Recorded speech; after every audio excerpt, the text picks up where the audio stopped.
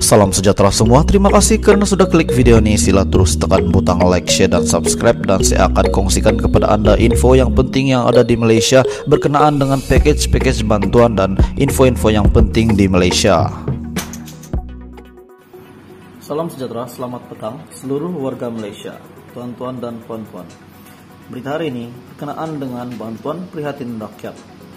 Berikut merupakan salah satu contoh status permohonan. Anda bukan penerima bayaran fasa 1 BPR 2021. Walau bagaimanapun, permohonan Anda akan diproses sebagai penentuan kelayakan BPR 2021 bagi bayaran seterusnya. Maklumat lanjut sila rujuk soalan lazim FAQ pembayaran fasa 1 BPR 2021. Berikut merupakan contoh status permohonan bagi pemohon BPR jika Anda bukan penerima bayaran fasa 1 ataupun Anda mungkin layak dibayar pada pembayaran BPR seterusnya.